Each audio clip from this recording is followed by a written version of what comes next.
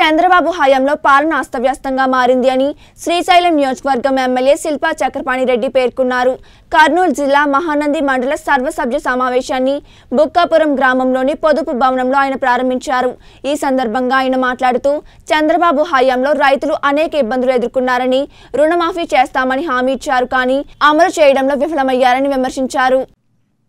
పొదుపు సంఘాలకు సున్నా వడ్డీతో రుణాలు ఇస్తామని ఆశ చూపి వారి ఆశలను అడియాసలు చేశారన్నారు. జగన్ ప్రభుత్వం వచ్చాక అనేక సంక్షేమ పథకాలను ప్రజల్లోకి తీసుకుని వెళ్ళి పార్టీలకు అతీతంగా అమలు చేస్తున్నామన్నారు. నవరత్నాలలో భాగంగా ఎంతో మంది పేద మధ్యతరగతి ప్రజలు లబ్ధి పొందుతున్నారని అన్నారు. మహానంది మండలం అభివృద్ధికి తాను ఎంతో కృషి చేశానని తెలిపారు. అధికారులు మరలా జరిగే మండల సర్వసభ్య సమావేశానికి చెప్పిన పనులన్నీ పూర్తి చేయాలని లేకుంటే చర్యలు తప్పవని అన్నారు. అక్కడ మనకు సహకరించే వాళ్ళు కూడా లేరు ఎవరు. అక్కడ ఏ ఎవరు మన అతను ఏమంటే ఎలక్ట్రీషియన్ చేసే అతను సప్లైర్ అతను ఎవరు అతను కూడా వర్క్ చేయడం లేదు అక్కడ. చాలా ఉంది గ్రామంలో కంప్లైంట్ ప్రతిరోజు కనీసం అంటే ఇరవై ముప్పై మంది కంప్లైంట్ చేస్తున్నారు ఎలక్ట్రిసిటీ గురించి. ఏమి? వాటర్ ట్యాంక్స్ కూడా డ్యామేజ్ అయిపోయినాయి ఓల్డ్ కాబట్టి. ఆ? చూపించినాను సార్. కంప్లైంట్ చేసి నా గోపాల్ అని గోపాల్ అని కంప్లైంట్ రెడీ చేసిన రెడీ చేస్తున్నా ఇమీడియట్గా చేస్తున్నా మాట్లాడితే మాట్లాడతామా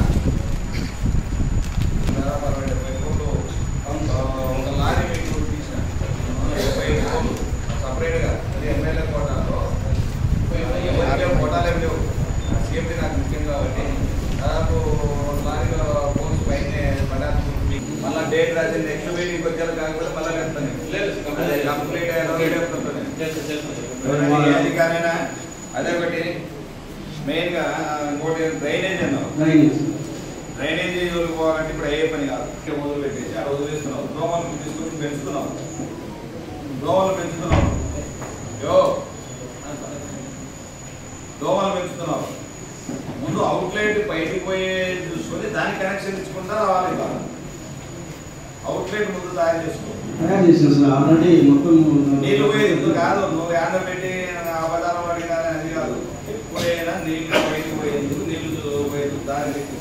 ఫిఫ్టీన్ డేస్ నుంచి వర్షాలు కంటిన్యూస్గా కురుస్తున్నాయి. దానివల్ల శానిటేషన్ ప్రాబ్లం అనేది వచ్చే అవకాశాలు ఉన్నాయి.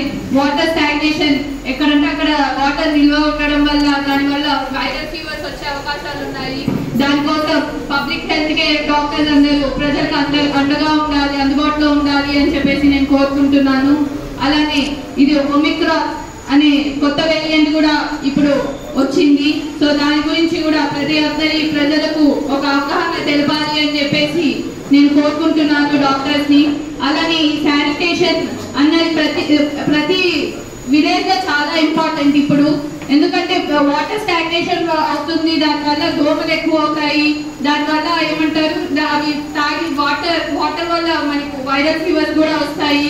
అలానే ఈ వాటర్ అనే వాటర్ కంటామినేట్ కూడా అవుతుంది. కొన్ని కొన్ని ప్లేసెస్లో వాటర్ పైప్స్ కూడా సరిగ్గా లేకపోతే సో వాటర్ పైప్స్ని సో ఏదైనా రిపేర్స్ ఉంటే వెంటనే మీరు చేయించాలి అని చెప్పేసి నేను అధికారులు కోరుకుంటున్నాను ఆ, దానికి ప్రతి ఒక్క సర్పంచ్లు ఎంపీటీసీలు అలాగే అధికారులు అందరూ ఒక కోఆర్డినేషన్తో పనిచేయాలని చెప్పేసి నేను కోరుకుంటున్నాను. ఇలా ఏదైనా ఏ పనిలో అయినా నా నాకు నా సహకారం కావాలి అని అంటే కన్నా నేను నాకు ఫోన్ చేస్తే కన్నా నేను అందుబాటులోనే ఉంటాను. నేను వచ్చి ఆ పని సహకారం చేస్తా పని చేస్తాను.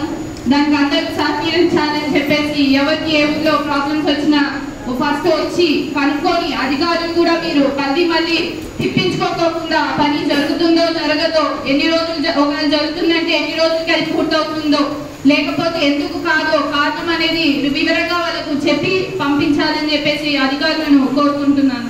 థ్యాంక్ యూ అవకాశం ఇచ్చిన ఎమ్మెల్యే గారికి నా ధన్యవాదాలు. అభిప్రాయం సార్ నాది నేను సర్పంచ్ సార్ అందుకే నా తోటి సభ్యులుగా చెప్పాను సార్ అధికారులకు తెలియాలి కదా నేను సర్పంచ్ అభ్యపురం సర్పంచ్ శ్రీలక్ష్మిని.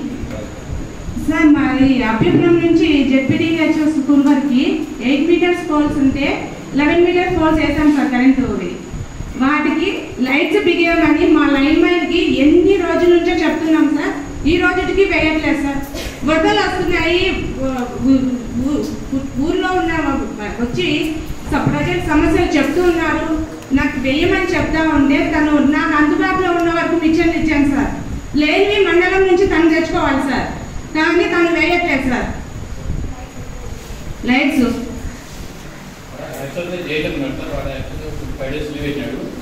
కానీ మా మెయిన్ ఏమంటే ఆ లైట్ ఏమిటి మనకు సచివాలయం నుంచి ఉన్నాడు. అతనికి అన్ని చేశాం సార్. తను ఏదో కొంచెం. మళ్ళీ పెయింటింగ్ అన్ని జరుగుతుంది ఎలక్ట్రికల్ మీరు సచివాలయం ఓపెనింగ్ వచ్చి మాకు మండల్ నీళ్ళతో డ్రైనేజ్ ఇచ్చారు. అది చేసేసాం సార్ కంప్లీట్ చేసాము. అది ఒకసారి వివిధ ప్రభుత్వ శాఖల అధికారులతో రావడం జరిగింది సార్. మరి మనం ఇప్పుడు ప్రజాప్రతినిధుల పాలన తర్వాత అధికారుల పాలన అంతా ఇప్పుడు మనం కోఆర్డినేట్ చేసుకొని మనము ఖచ్చితంగా మరి ప్రజలకు సమర్థవంతమైనటువంటి మరి పాలన మనం అందించాలనేటువంటి ఉద్దేశంతో మన ప్రభుత్వం ముందుకు పోతా ఉంది. మరి అందులో భాగంగానే మరి ఇప్పుడు మనకు ఈ సర్వసభ్య సమావేశంలో మరి శాఖల వారీగా ప్రభుత్వ శాఖల వారీగా మనకి అజెండా ఐటమ్స్ ఉన్నాయి. మరి అజెండా ఐటమ్స్ ప్రకారంగా మరి ముఖ్యంగా మొట్టమొదటిది మరి విద్యాశాఖ ఎడ్యుకేషన్ డిపార్ట్మెంట్ నుంచి మరి మరి ఎంఈఓ గారు మరి రామసుప్రసాద్ గారిని మరి తాజా సమాచారాన్ని తాజా నివేదికల ఆధారంగా మరి వారి యొక్క డిపార్ట్మెంట్ గురించి చెప్పాల్సిందిగా కోరుకుంటున్నాను. మళ్ళీ నెక్స్ట్ మీటింగ్ ప్రాబ్లం సార్ట్అవుట్ చేయాలి? నీకు ఏదైనా అంటే నాకు చెప్పు. నీళ్ళు లేవంటున్నారు. మూడేళ్ళు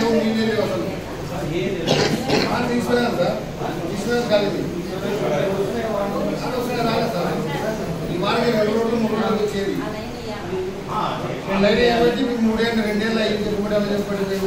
ఎప్పుడు వేస్తున్నావు అది సగం అది వచ్చేసి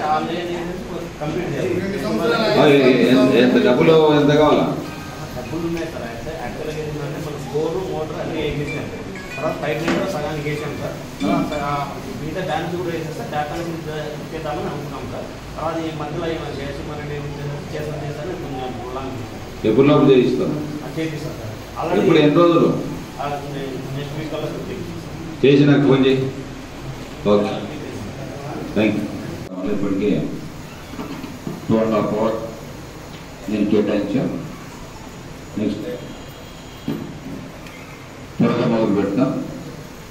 ఇప్పుడంతా అధికారులంగా కోరేది ఏంటంటే ఈరోజు ఏవైతే నోట్ చేసుకున్నారో నెక్స్ట్ మీటింగ్ రెడీగా అండి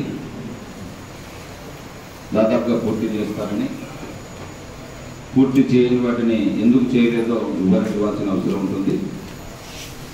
నెక్స్ట్ చాలామంది సర్పంచులు అందరు కొత్త కొత్తగా ఒకసారి ఏం మాట్లాడాలి అని గమనిస్తూ ఉన్నారు ఎంపీటీసీలు కానీ కోఆప్షన్ మెంబర్స్ కూడా. మీరందరూ కూడా మీ గ్రామాల్లో ఉన్నటువంటి సమస్యలు మీరు ఎట్లా అంటే ఒకటే రోజు డ్రైనేజీలు ఒకటే రోజు రోడ్స్ మిగతా అన్ని పనులు కంప్లీట్ అవుతాయని మాత్రం దయచేసి ఊహించకూడదు. కొన్ని మెల్లమెల్లిగా మనకు ఉన్నటువంటి వసతులను బట్టి మనకున్న ఆర్థిక పరిస్థితులను బట్టి అట్లా మీ యొక్క సర్పంచ్ ఫండ్స్లో కావచ్చు లేకపోతే మండల ఫండ్స్లో కావచ్చు లేకపోతే సపోర్టుగా మళ్ళీ ఎంపీ ఎంపీలు కూడా ఫండ్స్ మిగతా నియోజకవర్గాలకు వస్తే ఇప్పుడు డీగా చెప్పినట్టు హౌసింగ్లోనే కాదు. రోడ్స్లోనే కాదు ఈరోజు సచివాలయాలు కానీ రైతు భరోసా కేంద్రాలు కానీ విలేజ్ సెంటర్లు కానీ గ్రంథాలయ విభాగ కేంద్రాలు కానీ ఇవన్నీ ఎన్నో మన పేద ముఖ్యమంత్రి గారు ఎన్ని రాష్ట్రంలో ఎన్ని ఇబ్బందులు ఉన్నా ఎన్ని కష్టాలున్నా కరోనా మహమ్మారి అక్కసి వెంటబడతా ఉన్నా ఈ లోటు బడ్జెట్లో కూడా అన్ని పథకాలను భారతదేశంలో ఏ ముఖ్యమంత్రి అయినా చేస్తూ ఉన్నారంటే జగన్మోహన్ రెడ్డి గారు అని చెప్పక తప్పదు ఎందుకంటే ఇన్ని పథకాలు చాలా మంది ఏమనుకుంటున్నారు అభివృద్ధి అంటేనే ఒక రోడ్లు వేస్తేనే అభివృద్ధి అయినట్టు ఊహించుకుంటా ఉన్నారు. అభివృద్ధి అంటే అన్ని రకాలుగా వ్యవసాయకంగా లేకపోతే విద్యాపరంగా ఆరోగ్యపరంగా అన్ని రకాలుగా మన అభివృద్ధి చెందినట్టు అభివృద్ధి జరిగింది అనుకోవాలి. కానీ ఏదో తెలుగుదేశం వాళ్ళ మధ్యకాలం చూస్తా ఇష్టం వచ్చినట్టు అభివృద్ధి జరగలేదు ఒక రోడ్డు మాత్రం జరగలేదు నేను కూడా ఒప్పుకుంటా ఉన్నా.